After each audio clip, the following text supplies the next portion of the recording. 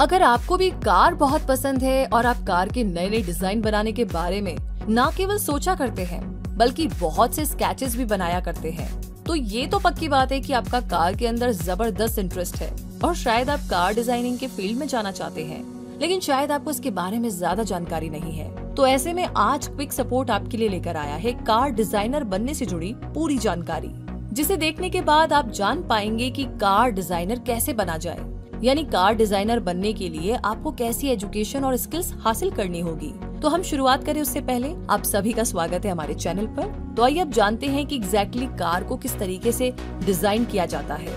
भले ही आपको लगता हो कि कार डिज़ाइन करना बहुत ही आसान काम है और सिर्फ़ कुछ स्केचेस बना करके ही ये काम पूरा हो जाता है, लेकिन ऐसा बिल्कुल भी नहीं होता। कार डिज़ाइन करना एक टीम वर्क होता है, जिसमें सबसे पहले ये डिसाइड किया जाता है कि किस तरीके की कार डिज़ाइन की जानी है। एक स्पोर्ट्स कार कार एक फैमिली कार या फिर एक एसयूवी कार का पैटर्न डिसाइड होने के बाद आगे का काम इंजीनियर्स और डिजाइनर्स को सौंप दिया जाता है और अब डिज़ाइनर तीन कोर एरियाज़ पर काम करते हैं। कार का एक्सटीरियर लुक इंटीरियर लुक और कलर एंड ट्रिम सिलेक्शन और अब कार का डिज़ाइन कंप्यूटर एडिट डिज़ाइन की मदद से बेसिक स्केचेस और डिटेल थ्री इमेजेस बना करके एक परफेक्ट डिज़ाइन को तैयार किया जाता है। तब इंजीनियर्स के लिए उस डिज़ाइन पर काम करना काफ़ी आसान हो जाता है। और इस प्रोसेस के बाद में ब्रांड न्यू कार मार्केट में आ जाती है। तो देखा आपने कार डिज़ाइनर बनने का मतलब सिर्फ़ स्केचेस बनाना नहीं होता, बल्कि ये डीप रिसर्च हार्ड वर्क और क्रिएटिविटी का काम होता है। इसीलिए सबसे पहले आप अपने टैलेंट को समझिए। अगर वाकई आप में वो क्रिएटिविटी है जो एक कार डिज़ाइनर में होनी चाहिए तो आप एज अ प्रोफेशन इस फ़ील्ड को चुनने के बारे में सोच सकते हैं। लेकिन ये डिसाइड करने से पहले ये जानना बहुत ज़रूरी है कि क्वालिफिकेशन क्या होनी चाहिए। यानी कार डिज़ाइनर बनने के लिए आपको कौन सा प्रोसेस फॉलो करने की ज़रूरत है। तो सबसे पहले टेन प्लस टू क्लियर करना होगा।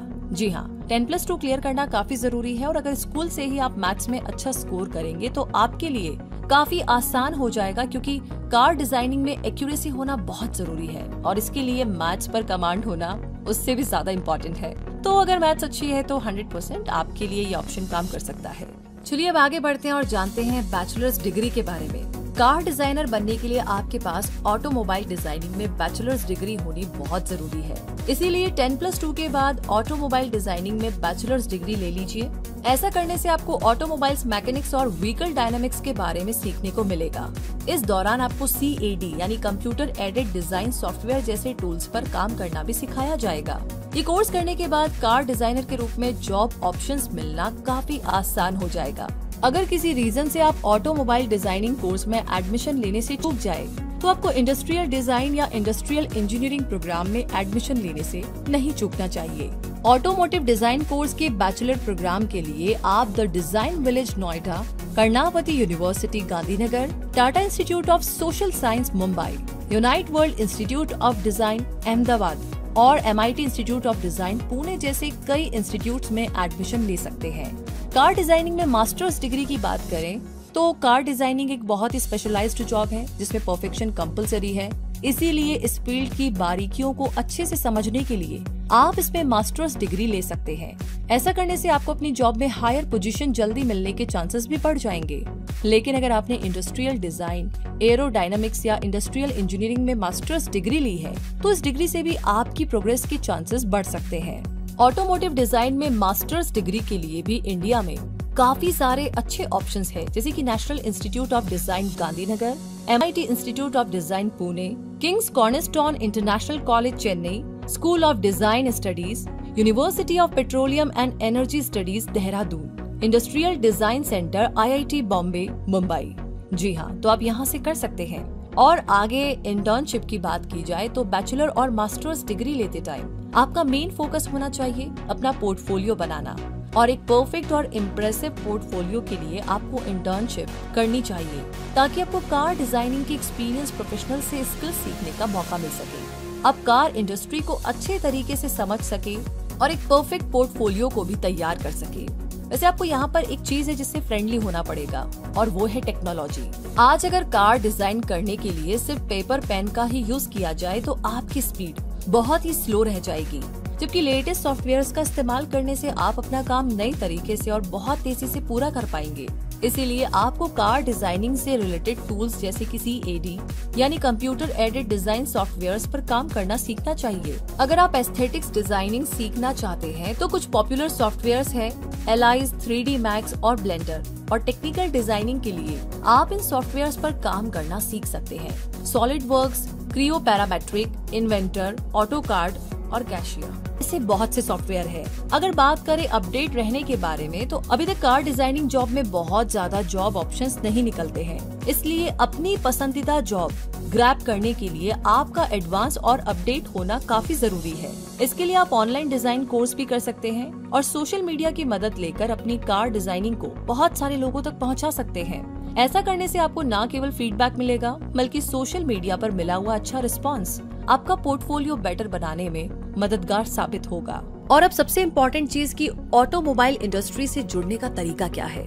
जी हाँ ऑटोमोबाइल इंडस्ट्री से जुड़ने के लिए आपको ऑटोमोटिव पब्लिकेशंस की वेबसाइट और मैगजीन्स में अपने डिज़ाइन पब्लिश करवाने के लिए सबमिट करने चाहिए।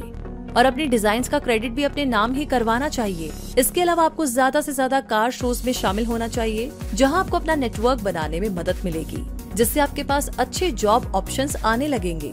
कार डिज़ाइनिंग के फ़ील्ड में जितना एक्साइटमेंट है, उतना ही बड़ा रिस्क भी है। क्योंकि इस फ़ील्ड में अच्छी जॉब मिलना इतना आसान नहीं है। हाँ अगर आप पैशनेट है और एक अच्छा पोर्टफोलियो मेंटेन करते हैं तो आप ज़रूर से टाइम रहते अपने लिए एक परफेक्ट जॉब ले सकते हैं। लेकिन अगर आप अपडेट ना रहे और परफेक्ट जॉब अपॉर्चुनिटी के इंतज़ार में बाकी ऑफर्स को ठुकराते रहे तो ये बहुत ही रिस्की हो सकता है। इसीलिए आपको एक बार इस इंडस्ट्री में कदम रख देना चाहिए और उसके बाद अपने स्किल्स और क्रिएटिव आइडियाज़ से अपने आगे के रास्ते खोल लेने चाहिए। जहाँ तक कार डिज़ाइनर की सैलरी की बात की जाए तो ये आपकी कंपनी और आपकी एक्सपीरियंस पर डिपेंड करता है। फिर भी अंदाजे के तौर पर एक कार डिज़ाइनर की एनुअल इनकम लगभग सात से आठ लाख रुपए होती है। अगर आप कार डिज़ाइनर बनने के लिए अपने सपने को लेकर श्योर हैं, तो हमारे बताए इस प्रोसेस को अच्छे से फॉलो कीजिए। आप कार डिज़ाइनर बन सकते हैं। और क्या पता अपने इस मन पसंद फ़ील्ड में आप इतने फ़ेमस हो जाए जैसे कि बाकी फ़ेमस कार डिज़ाइनर है। तो ये आपके हाथ में है। ये आपका थॉट प्रोसेस है कि आप इसे कैसे आगे बढ़ाते हैं। तो दोस्तों अब कार डिज़ाइनर बनने से जुड़ी सारी जानकारी आपके पास है। और क्विक सपोर्ट तो यही उम्मीद करता है कि हमारी ये कोशिश आपको पसंद आई होगी।